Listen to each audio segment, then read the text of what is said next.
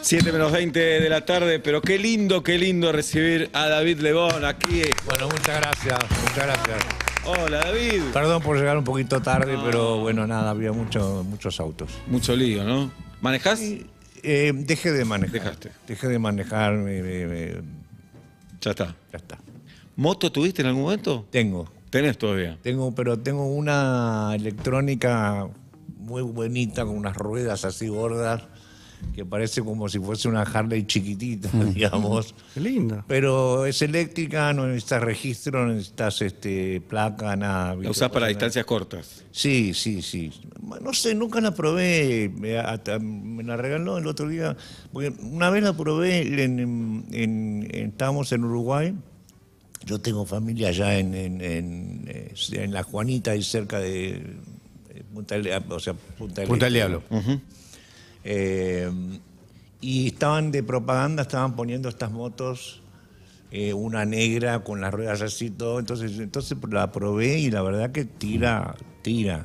Y tiene de uno a tres cambios con un botoncito acá que es para ir un poquitito más rápido. Yo, yo pienso que debe ir el 70, más, no, no- no creo que más. Sí, igual yo te digo, eh, yo así como tengo 70 años ya quiero eh, pa- parar un Más poco. tranquilo. Sí, ya está. Fiesta. o sea, yo podríamos leer un libro así de grande, ¿viste? De todas las cosas que hicimos. ¿Moto tuviste? ¿Moto, moto tuviste? No, tuve, tuve, Sí. una- tuve un hallado mil y algo que no me acuerdo. Y me la pidió prestada J. Morelli. Día estábamos grabando en el cielito. Y yo le digo, mira que tiene cinco cambios, cuando, si vas a, cuando vuelvas, eh, rebajá. O sea, ¿viste? Para frenar. No, re- no No rebajó. rebajó, no rebajó. Entonces venía y se escuchaba el ruido, aparte del, viste, ese, porque a mí me gustaba mucho sobre todo el, la mano torino, viste. Y bueno, vino y cuando quiso frenar empezó a patinar la rueda atrás, y porque son grandotas y redondas, y se frenó con toda la parte izquierda del cuerpo. Se hizo pelota. el salón, Y aparte estábamos grabando, así que quedó. Y entonces, bueno, lo llevamos, lo bañamos, había, llamamos a un doctor. este, y así como estaba, eh, a la noche seguimos grabando. Pero a los dos días la vendí. La vendí porque dije, bueno, Ya está. Ya Ya está. Ya está. Fue un llamado, yo me- fue un aviso. Me rompí este dedito con una Harley, así que. Y para un guitarrista, los dedos. Este, ¿no? no, y es más este, no, sí, chiquitín, el chiquitín. Claro. ¿Tocás mañana, David? Toco mañana. Sí. eh, Vorterix. Exactamente, exactamente. Ahí este pensar que yo antes an- era un, era un cine antes eso creo, si no mal no me Teatro. equivoco, ¿no? Teatro, teatro. Teatro, Puede teatro, ser cine teatro. Sí, Puede cine teatro, puede ser. cine teatro. Sí, pero bueno, nada, está buenísimo. Ahí presentamos eh, a, a, a- a Cerú en la segunda vuelta, hicimos un- una reunión con eh, periodistas y eso ahí adentro de, Ah, la conferencia de prensa hicieron. Algo así, sí, algo así. Mirá. Yo estaba con, acá me pasó esta semana de nuevo, estaba con, yo tengo, tenía un, un, un sambolledo hermoso y me contagió, como no sé cómo se llama esto en el, en el ojo, que Conjuntivitis. eso. Ahí está. Y andaba con un parche, todos pensaban que yo me estaba, que era un- como una parte tipo Estética. fashion. Una Claro. Fashion, Claro. pirata fashion. Estabas haciendo el canchero. Sí, Pero no. no, te- cuando me los levanté así, todos me miraban. ten- Cero fashion. Escuchame, David. ¿Y tenés lista para mañana ya? ¿Ya tenés la lista de temas? Eh, yo no las hago las listas. Mirá. No las hago porque. Este, eh, Pará, ¿y los músicos cómo te siguen? La banda. eh, no, no. Ahora con qué ¿Cómo vamos, es? te dicen. No mando hace un pre- WhatsApp. no las hace antes. Yo Sí, me debo- díganme ustedes. O sea, yo los miro y le digo. Claro. Con ojitos. ¿A dónde vamos? ¿Y? Dale. ¿Vos sabés que viene ahora? No, ah, no, ¿sabes? Estás despedido. No, no, no, no, no. Hay una lista, obviamente, hecha que le- la hacemos entre todos. Pero yo ya no me meto en las listas. Prácticamente no me meto todo, salvo los solos de guitarra y cantar. O sea, La banda arma una lista y vos decís, bueno, la, la sigo. sí, sí, sí, Ajá. sí, sí, sí, sí. Muy bueno. Sí, sí, no, eh, soy, eh, tengo que admitir, soy fiaca, soy fiaca. Y si alguna canción no te gusta, no, no, no cambias La saco, Ah, ahí está, la sacas Ah, directamente. ok, la veo. Ok. Le digo, chico, no, va Esta la próxima o va la... el, público, el público ya sabe, me conoce y sabe que puede pasar cualquier cosa en cualquier momento. Muy bueno. Pero una hay, hay- hay canciones que decís, ya no quiero tocarlas más, o es el momento. En este momento no quiero tocar esta. Eh, no, hay eh, seminares ya. Es como muchacha para Luis, ¿viste? ¿Entendés? O sea, yo me acuerdo que Luisito me decía a veces, ya, ya, sí, el tema es lindo, todo, pero, pero, ¿viste? Ya. ¿Pero qué, te cansó de hacerla? No, en realidad no. Yo, si la gente me la pide, la canto. ¿Entendés? Y te la van ¿Alguna a vez pedir. no te la pidieron? Claro, te la van a pedir. Sí, bueno. Tenés que abrir con el show, con seminario chao. Ya está. Ahora daría eso sí, y me voy. Y te No, vas. se me, porque seminario supuestamente es la tienen, última, Sí, ¿viste? claro, claro, claro. De hecho, eh, Spinetta le decía, le hacía un chiste, no decía muchacha ojo de Mucaca. papel. Mucama ojo de mantel. decía, sí. Como ya faltándose el No, respeto. Luis, Luis, eh, eh, era muy, muy, muy cómico. Muy Muy, gracioso, cómico. muy gracioso. Con- tenía personajes, el Cholo, por eso era un per- personaje argentino que te morías de la risa. No sabes las cosas que hacía.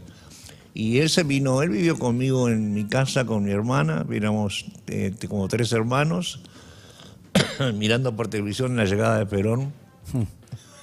que fue donde sa- nosotros, vos sabés que la- nos recreímos, que dijimos, uy, mire, pero boludo, qué grosso. No teníamos ni idea quién era. Yo no sabía, ni yo, aparte me crié en Estados Unidos. Claro. Llegué más o menos en el 69, en esa época que por, me acuerdo porque falleció Hendrix. Y cuando llegó me empecé a, como a tratar de empezar a entender un montón Claro. de situaciones, como por ejemplo mi hermano decía, no salgas a la calle con el pelo así porque te, Claro. te lo van a... Me pasó. Viste, Yo ya escuchaba una sirena y me ponía contra la pared.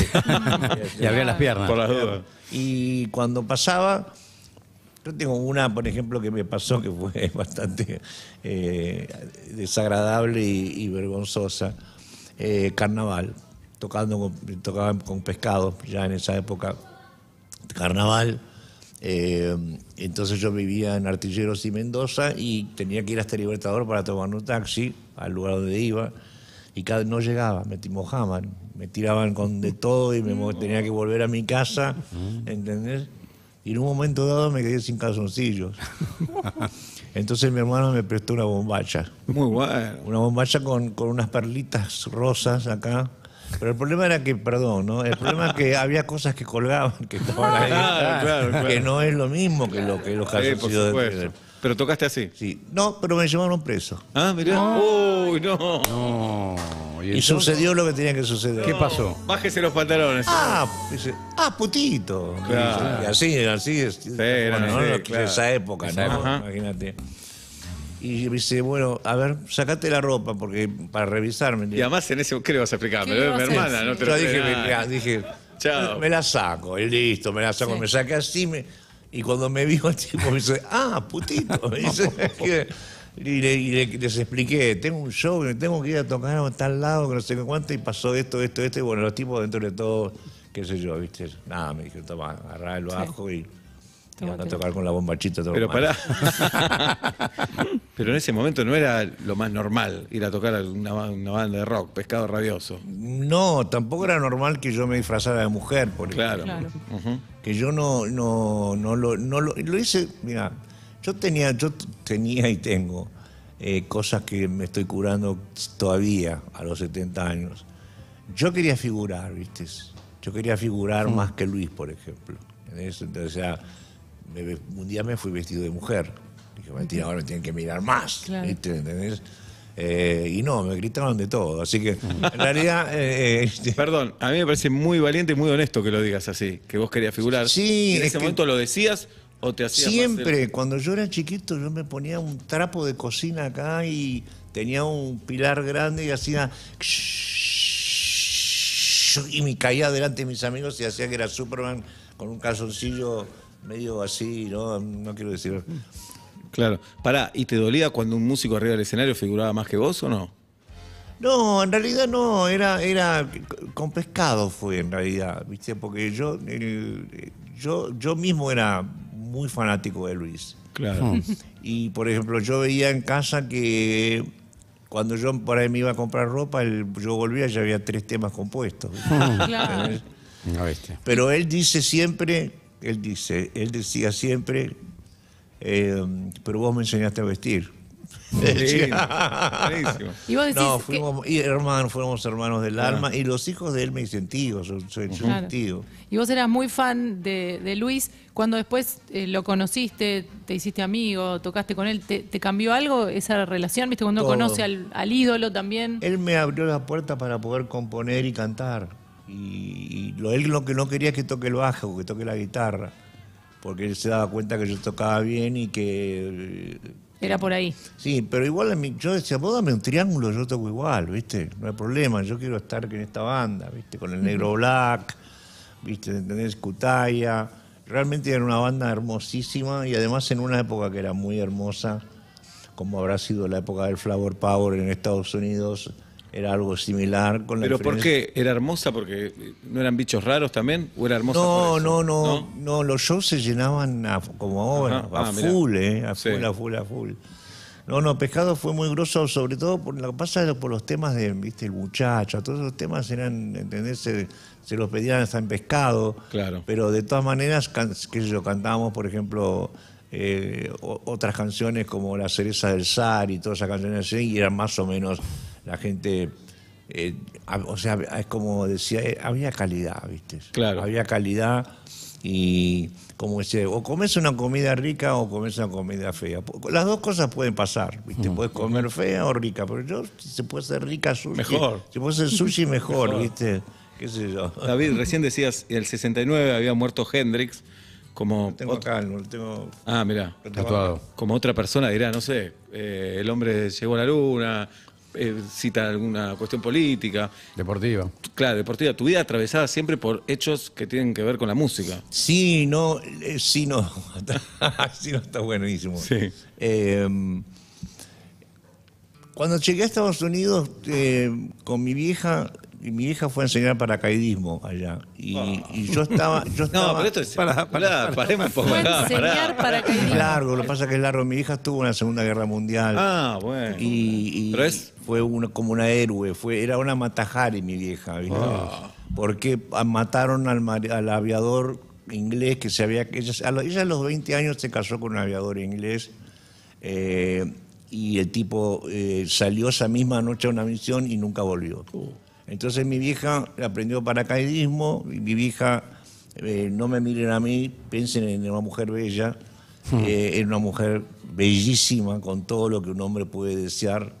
Eh, y bueno, se- ella se tomó el trabajo de...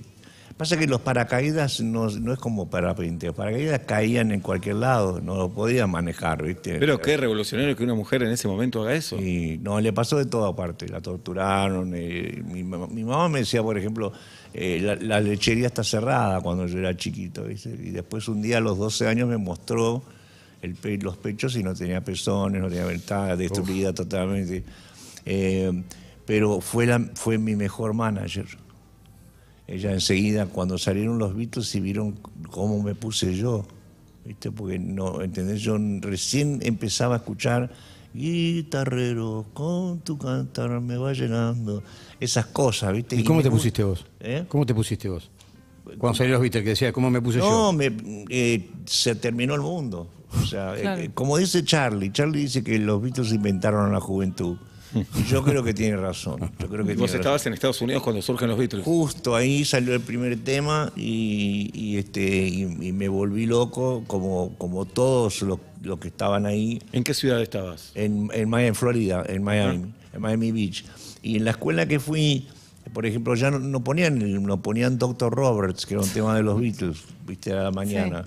Eh, y éramos todos flequillitos, botas Beatles, polera negra. Vos ya tocabas, además. En Miami, en la playa, viste, con Claro. polera negra. Qué calor. Tenía Sí, sentido. sí, sí.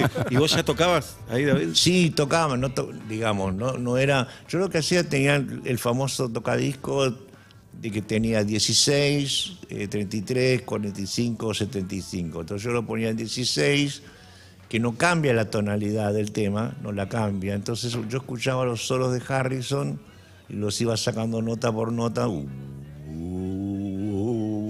Pero para, eso con oído lo hacías. No, no, no- Sí, con, no, oído. yo no estudié, no te cuento. clases. me- a mí me echaron, yo, yo eh, entré en la banda de la escuela, ¿viste? yo estaba feliz. En la, la banda era una, una orquesta con, con trabajos, ¿viste? Con, con timbales, toda la cosa, para competir contra las otras escuelas, igual que en el fútbol americano. ¿viste? Claro. Pero yo me copiaba del de al lado, ¿viste? ¿Entendés? Porque no, no entendía los cositos. No, no, no. No, no, no sabías Pero leer. Tampoco Le- entendía. te leían los dedos. Y tampoco, tampoco, le, tampoco entendía por qué dos y dos eran cuatro. Yo quería que sean 22.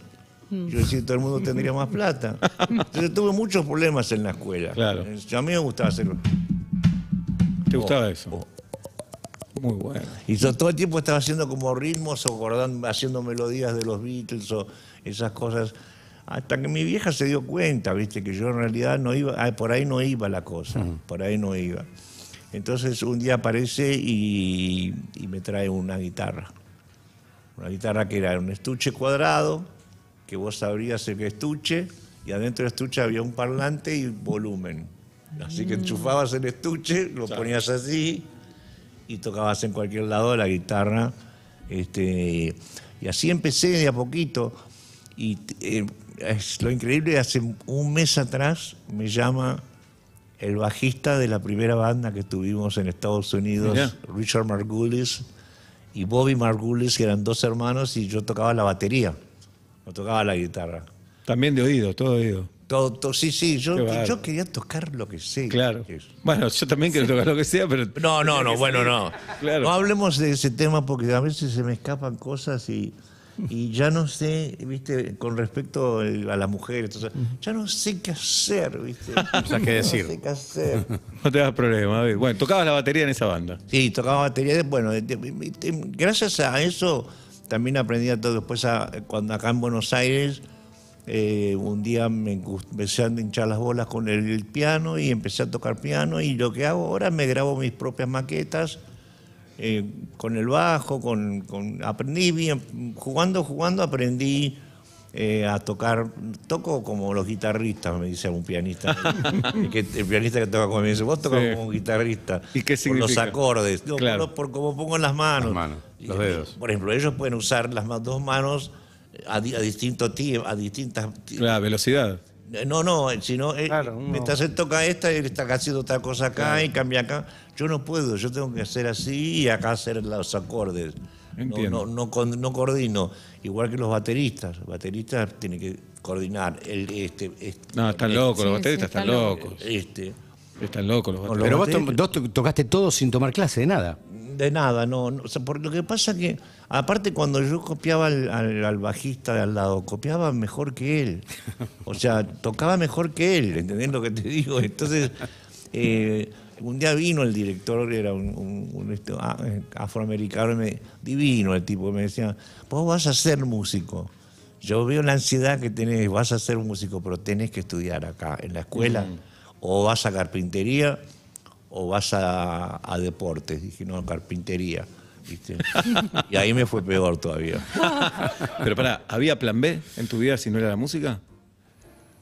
No, no, no, no, nunca. Yo creo que vino con la, conmigo. Eh, Yo siempre digo que adentro mío hay alguien que sabe más que yo. Está bien eso. Y yo Lindo. no escucho a esta, sino que trato de... Se señala el corazón, David, en este sí. momento. No escucha No. la cabeza, escucha el corazón. Sí, la divinidad, le digo yo. No me gusta decir el alma, el corazón, ¿viste? la divinidad, ¿viste? Lo que.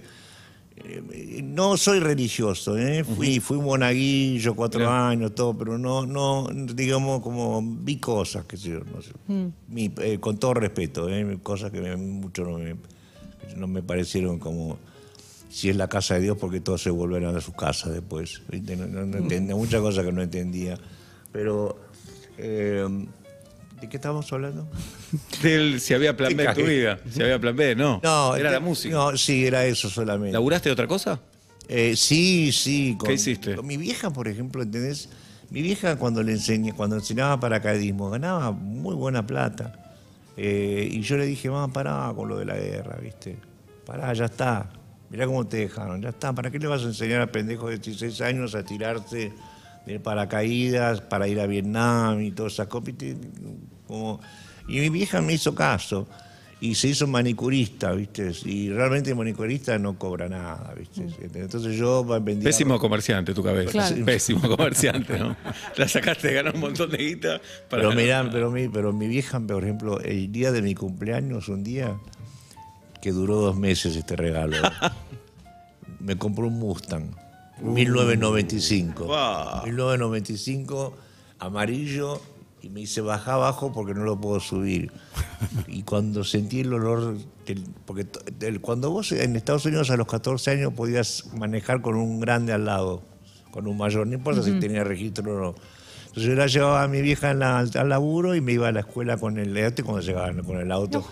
Pero yo quería el, el GTO, el Pontiac GTO, que nunca lo pude lograr, que era con cambios, ¿viste? Todo al revés era. este, todos eran con eh, automáticos. Pero bueno, el Mustang no me pude quejar, pero a, a los tres meses no pudimos pagar más y lo tuvimos. que devolver. Bueno, duró, duró un Qué poquito. bueno. Y en Estados Unidos estaban tu vieja, tu hermana y vos. Sí. Bien. ¿Y por qué vinieron a- No, no, eh, mi, no, mi hermana no. Mi hermana se quedó en Argentina con Ah, mi abuela. ah, ok. Y eh, es una historia. Estoy haciendo un libro. Eh, porque hay- muchas cosas que voy saltando que después no se entienden por qué esto, para qué. Eh, mi, mi abuela y mi abuelo se estaban escapando. Mi abuelo era un cosaco, ¿viste? Ese ruso. Y se estaban escapando de la revolución. Y era un, ti- él era un tipo un- un- de alto grado, ¿viste? Sí, eh, en el viaje, en, el- en la escapada, en la ida. eh, pararon en un lugar y nunca me voy a olvidar. Mi abuela me contaba unos cuentos. en- en- yo entendía ruso perfecto, ¿viste? Y le hablaba bien, pero después de, tan, de mucho tiempo, el- entre el inglés y el castellano, el, ruso se me fue un poco. Claro. Y mm, ella me contaba, por ejemplo, que el marido, este, este- este, eh, mi abuelo, eh, se fue por cinco o seis años a, a trabajar y porque va a traer plata a la casa.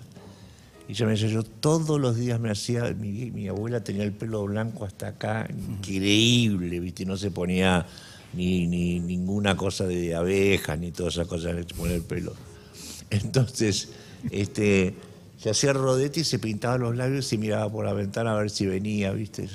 No, no, no. me- por eso yo amo el amor, ¿viste? Porque veía Lo viste. que siempre existió. Lo que pasa es que la gente busca lo que nunca perdió. Nunca- ¿Viste? Nunca perdimos el amor, nunca. Lo que pasa es que estamos tan acá arriba, tan en la terraza, En la que no cabeza. para de hablar. Claro. Y encima los ruidos de afuera, los ruidos de adentro. Quedás hecho un pelotudo, perdón, ¿no? Pero realmente, quedás medio boludo, ¿viste? ¿Entendés? Por ahí estás haciendo el eh, perdón, ¿no? No sé qué si decir, estás haciendo el amor, se Lo puede que- decir. Estás haciendo el amor. Sí, de repente estás pensando en que te rayaron el auto, ¿viste? Si el cosa se. ¿Entendés? Es- Claro. es lo que te digo, o sea, es, eh, yo, yo hice mi mundo agradable. Ajá. Hice mi mundo Sí, agradable. claro. Lo hice, lo, lo hice para mí Y después la grabaste con Ricardo, con Mozo. y después lo, lo grabamos con Ricardito, que es un amor. de Ahí hay algo también en tus dos discos, con, con amigos, con colegas, que además de la admiración, se nota el amor que te tienen todos. Fueron a grabar músicos de Sí. cualquier generación, Sí. chicos de ahora, gente más de tu generación, Sí. en generación mediana, todo, todo el mundo, todos grabar con Sí, y aparte me dicen, yo los cargo, porque a veces, por ejemplo, Coti o, o estos amigos eh, que recientes que tengo, Dieguito Torres, que yo grabé con la mamá de Dieguito Torres, con Lolita grabé yo. Entonces, este, eh, nada, le, eh, eh, eh, ¿qué era lo que estaba diciendo? Se me, se me va, se me escapa. Te interrumpo mucho, culpa mía. No, no, no. que, no. estaba- que grabaste Mundo Agradable con Ricardo. Eso, sí. Y la verdad que fue hermoso porque eh, el hecho que te, viste, por ahí venían algunos, no Ricardo, pero algunos me decían, rey, eh, magia, tanto, y viste, a mí no me rompió las bolas. que me eso, no, no te ¿Por qué no te gusta? No, me gu- ¿por qué no? Porque, qué sé yo. No te sentís un prócer. No, para nada. ¿Sabes lo que pasa cuando, cuando tuve, tuve dos hijos que casi se, no estuvieron? Hay uno que sí se fue ya, pero un- hay dos que Naila, que sufrió un accidente, se quemó el 60% del cuerpo y ahí la tenés, es la mujer más bella, hermosa del mundo, con unos hijos hermosos, y con un hijo, perdón, hermoso, Goran. Eh, eh, es mi princesa y, después de mm, Panchi Lebón este, tuvo un accidente de- con un parapente que era un era un tipo que estudió para nosotros estábamos viviendo en Mendoza un tipo que estudió para, salva- para hacer salvatajes en las montañas por si alguien quedaba perdido los tipos iban a buscarlo llevaban que yo comida cuestiones cuestiones y un día hizo un truco que no se debería hacer, que es cuando que se cierra el parapente y vos tenés que abrirlo en el medio del aire, en el agua. Pero lo que pasa que en el agua de a, a- a la semana que lo que le pasó a él se ahogó uno porque se quedó adentro del parapente, ¿viste? Y aparte no puede jugar con el viento con todas esas cosas. Y se cayó de, se cayó de 60 metros y se rompió en 24 partes acá el fémur y, y era baterista mío, así que andu, tuvimos que parar un tiempo y, y nada, aparte le recé hasta el diablo, ¿viste? ¿entendés? Porque yo no, no creo en todo eso, pero eh, En los momentos límites uno cree. en todo, ¿viste? Sí. Todo, ¿viste? Le llevé cadenas a todos los, todos los muñecos que habían ahí, yo le ponía todo, ¿viste? Para, para que esté todo bien. Por suerte, de aquí en adelante todo está bárbaro, todo está bien, mi familia está increíblemente bien. está- Pero decís, por eso eh, estas cosas terrenales, decís, de los, los vínculos familiares, los, los sentimientos más cercanos, no te hacen sentir un prócer, te, No, te yo- ponen en otro lugar. La, mí- sí, yo veo Lassi y lloro, ¿viste? ¿Entendés? O sea, eh, porque justamente cuando vi, cuando viví en el, eh, un año en el hospital de niños, en el Garraham, cuando viví ahí, yo estaba en, en- ¿Por qué viviste ahí? porque me tenía que quedar, me- mi, mi señora, mi ex señora no, no podía, no aguantaba. No aguantaba porque era un pabellón donde había chicos sin cara directamente, ¿viste? O con cabezas así, ram, ¿viste? Sí. Yo me, me- no- nunca me asusté de nada de eso. Y todos los padres, por ejemplo, gente de Paraguay, de muchos lugares que apenas sab- sabía hablar en castellano, este, me cocinaban a mí, ¿viste? ¿Entendés? Y por ahí uno, me acuerdo que se chocó la ambulancia y se falleció el hijo que estaba dentro de la ambulancia. Y el tipo cuando volvió al hospital me dice, ¿tenés hambre? Y me decía, estábamos llorando, obviamente lloramos los dos. Y en un mundo como el, el- el- el- el lado oscuro de la luna, ¿no? Como en otro lugar, pero con un nivel, con un nivel que por más que te vistas y te pongas la ropa más increíble del mundo y que te cantes el mejor tema del mundo, ese tipo le rompía el culo. Claro. Está bueno lo que decís. Aún así, defiendo la teoría de que un músico te vea como un rey también, por todo lo que significa para Y ese músico. yo- entiendo lo que decís vos, pero en ese momento, ese músico va a grabar con vos, dice, estoy yendo a grabar. Como te pasaba vos con, claro. con, Con Spinetta, Sí. Bueno, cuando Luis, cuando yo le hemos- eh, un día yo estaba eh, haciendo el tema que se llama Mañana y Pasado, el primer disco mío, eh, de perdón, eh, que de Pecado Rabioso. Y yo no sabía que estaba en casa, Luis. Yo tenía una casa antigua, larga, viste la cocina en el fondo. Entonces estaba sacando, hoy me vuelo de tantas caras. Y de repente lo veo que viene Luis y dije, uy, boludo. ¿Viste? Eran tres acordes nada más. Claro. él hacía 480 mil con los dedos así, ¿viste? Sí, sí, sí. Eh, y, y se sentó, a- mi- yo estaba sentado en, en un sillón de mi abuela que era muy alto, y él estaba- se, se sentó así en el piso acá al lado y me dice, a ver, ¿lo, ¿lo podés cantar una vez más? Y yo estaba, era como cantar adelante de Lennon, ¿viste? Claro. De Paul. Yo no tuve ídolos, el único ídolo que yo tuve fue Luis. ¿No eran los Beatles? ¿no? Sí, También, pero otra nunca cosa. me lo crucé. cercanos, claro. Nunca estuvo sentado acá en el Este era terrenal. acá. Este lo tenías ahí. No, me muero. Y bueno, empecé a cantar el tema y se le piantó un lagrimón y dijo, qué simple, qué lindo. Este, lo vamos a grabar en el disco, me dice. Y ahí yo sentí que él me abrió las puertas para que yo pueda hacer canciones. Hicimos el librito juntos. Se nota porque yo escribo como el culo, así que se nota, ¿viste? ¿no? Eh, eh, zorro con ese, que yo, no, no, sí, sí. el zorro, con ese, zorro. Y contanos algo con Charlie, cómo, cómo lo conociste, como algo, una imagen. Y con el flaco lo conocí porque mm, había un había un grupo, estaba Billy Bond, Jorge Álvarez, el gordo Pierre, que no me acuerdo el primer nombre. Eh, Billy, gracias a Dios, sigue vivo, está por hacer un show a lo pronto. Eh, Jorge Álvarez falleció y eran, eran eh, mandioca. Jorge Álvarez era el productor. Sí, Mandioca era, ¿viste? Era, ahí, salió eh, eh, Manal con Avellaneda Blues. Cuando yo llegué a Estados Unidos y escuché Avellaneda Blues, dije, más, yo me quedo acá. Yo me quedo acá.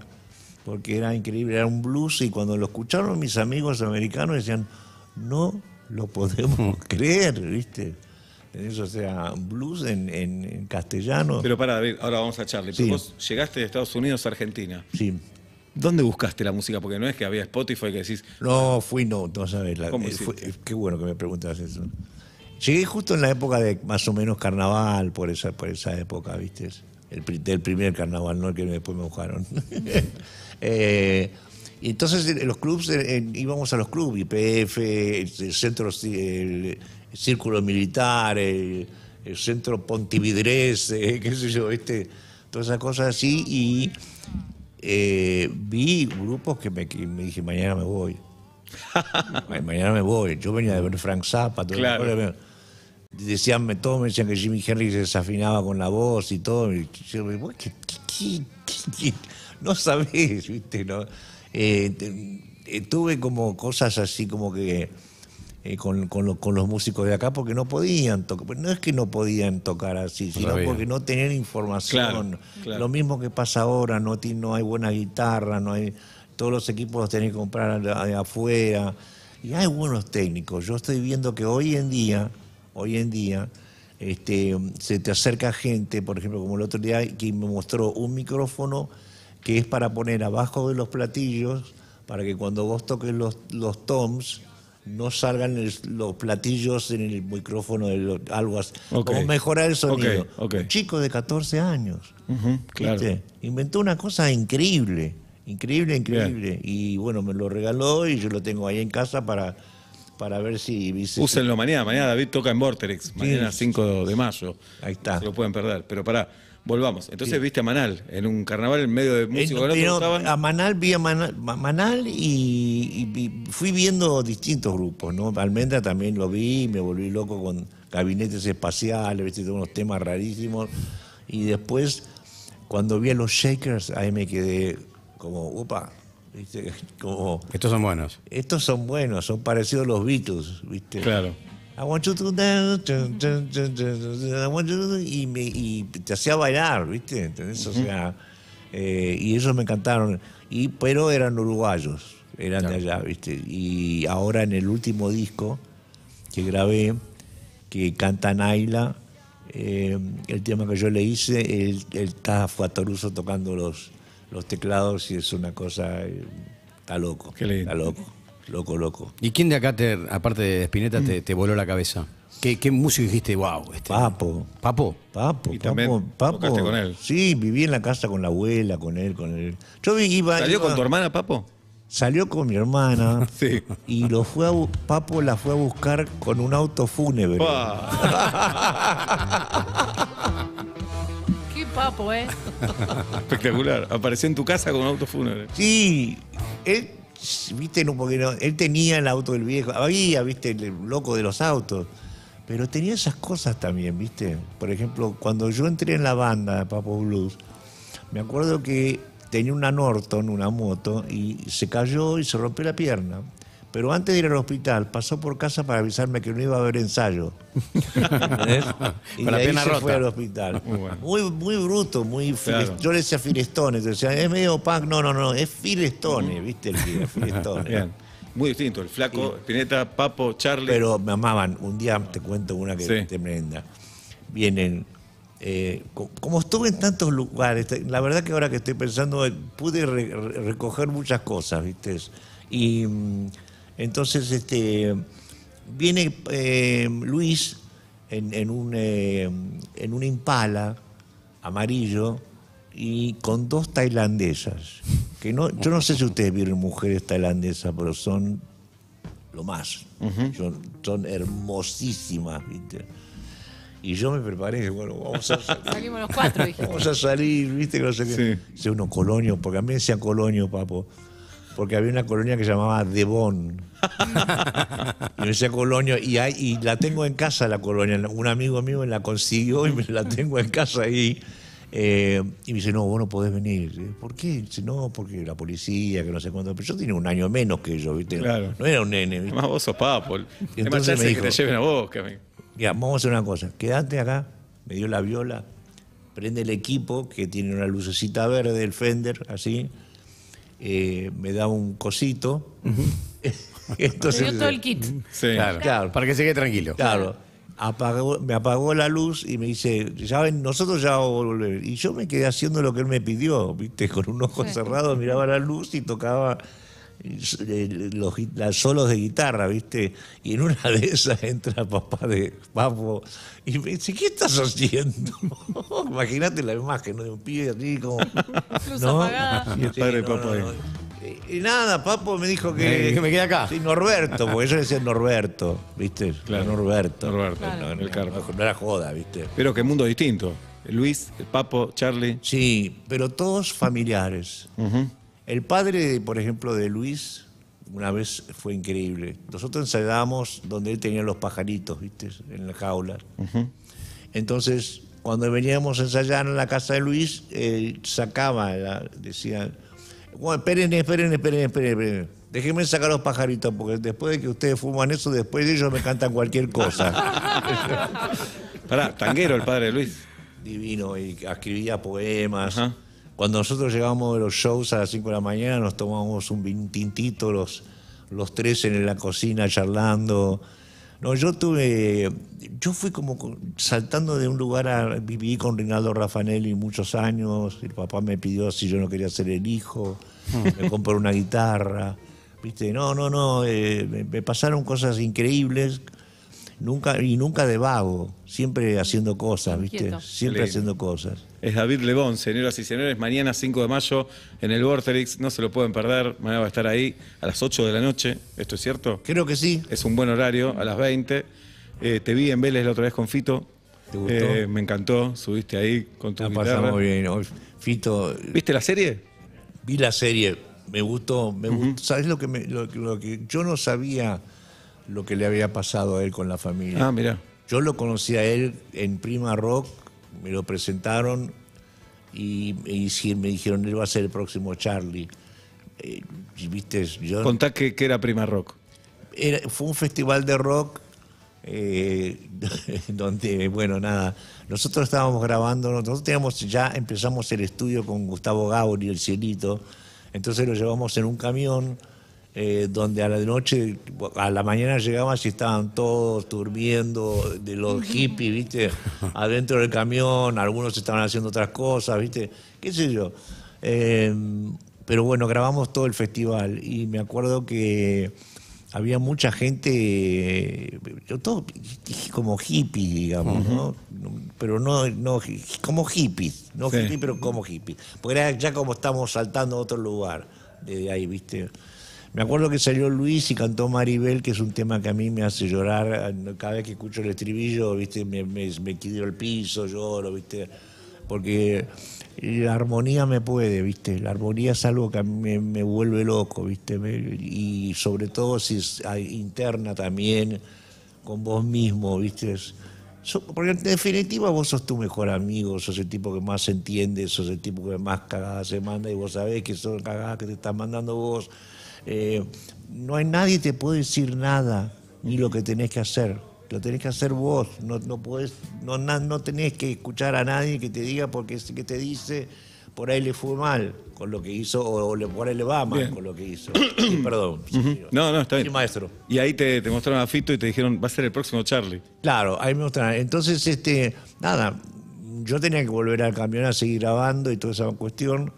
Y nos hicimos muy amigos hace muy poco tiempo con él. Y tenemos un juego que es, te voy a cagar a trompada cuando te vea. yo decía, ¿qué vas a cagar a trompada vos? Escuchame, te rompo la cara. ¿Sabés? Que esos dientes que te, te los voy a romper todo de nuevo. Y así todo el tiempo. Hace un rato hablamos Sí. y, dice que tiene un tema nuevo que se llama Después que te cago de trompada, después del amor. Hermoso, hermoso. Eh, y, pero no sabía lo de las abuelas. Yo no tuve Muy idea fuerte, de, de su. Cuando vi esa parte al principio, fue muy terrible. Muy terrible. Terrible, ¿viste? Pues, Entonces empezás a entender a la persona de alguna manera también, ¿viste? Cómo se defiende él y qué bien que habla de ciertas cosas. La superación que tuvo. No sabía trágica. Claro. Sí, sí, sí. eh, y a mí nunca me contó. dice, Para, pero ¿para qué contar? Me dice. ¿Para qué voy a contar que mi madre es paracaidista como yo? ¿viste? Claro. Para, para figurar, para ¿qué, qué, qué- qué- qué tiene? Entonces me, me gustó mucho de él. Es un tipo muy honesto y, y también lo que tiene es un gran corazón. Es un gran corazón, viste, que no se lo entrega a cualquiera. No se lo entrega a cualquiera. Bien. Bueno, qué lindo que viniste, David. Me encantó. Qué lindo que venido. llegamos. Qué lindo, qué lindo, qué lindo. Bueno, lo mejor para mañana. Che, Sí. los quiero muchísimo. Nosotros a vos. A vos te quiero muchísimo, no es que a usted- a ustedes no, a vos, te- a vos sí porque te conozco de antes. Sí. Pero bueno, a vos te quiero porque sos bonita, a vos te quiero porque Eh. tenés una cara de decir unas, algunas cosas que me imagino. Pero a vos te adoro porque yo te, te he visto y también te quiero mucho a tu señora, no, no nada implicado, no te preocupes. Porque con esa señora yo no me meto ni en pedo. Pero. ¿Tenés miedo? ¿Eh? ¿Miedo? Eh, no, ni en pedo, no. no, no, Bueno. Ni en pedo. Mandale un beso grande. Le voy a decir. Dale. Bueno, un genio, David. Muchísimas Chicos, gracias. gracias y gracias a la gente que esté escuchando esto, le quiero pedir por favor que se cuiden, que no escuchen todas las cosas que están diciendo, que me empiecen a hacer otras cosas, lavar platos, no sé, cortar el pasto, hacer otra cosa, pero este, siempre recuérdense que la respiración cuando te vas a dormir entra y sale dentro tuyo sin que nadie la llame. O sea, que hay alguien que te está respirando y alguien que te ama mucho, que en mi mundo se llama Dios. David Lebón, señoras y señores. Muchas gracias. Pasó por vuelta y media mañana en el Vortex a las 8 de la noche.